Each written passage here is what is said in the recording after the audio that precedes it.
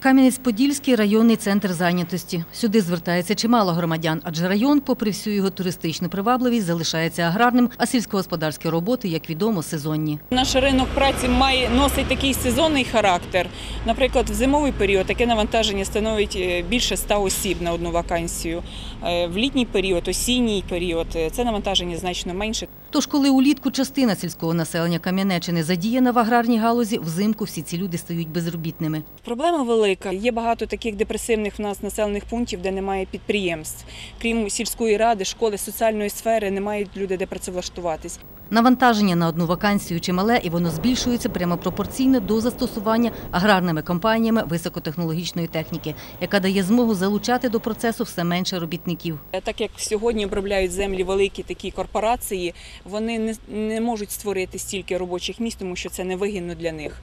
Вони прийшли, мають сучасну новітню техніку, обробили землю, зібрали урожай і, і далі їдуть на свої бази, а люди залишаються без роботи. Отримувати державну допомогу з безробіття у центрах зайнятості чи не єдина можливість для працездатного безробітного отримувати живу копійку.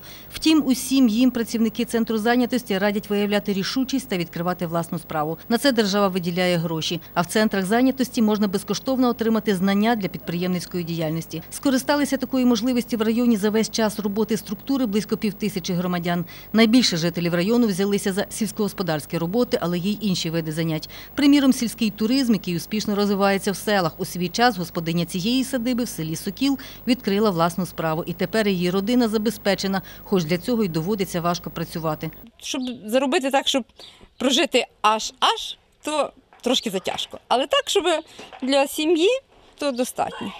Скористався одноразовою державною допомогою та безкоштовним навчанням і цей переселенець із Донбасу. Закиди, мовляв, до вимушено переміщених осіб у центрах зайнятості ставляться нечуйно, відкидає. Ну, я не вірив, чесно, я не вірив в те, що це в нашій країні працює.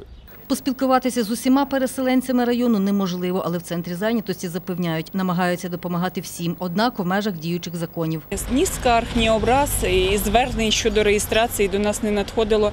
По-перше, ми були готові до їхнього прийому. Ми надавали і психологічну їм допомогу, моральну підтримку. Те, що в нас не було законодавчих актів, як проводити реєстрацію таких осіб, то це дійсно було так.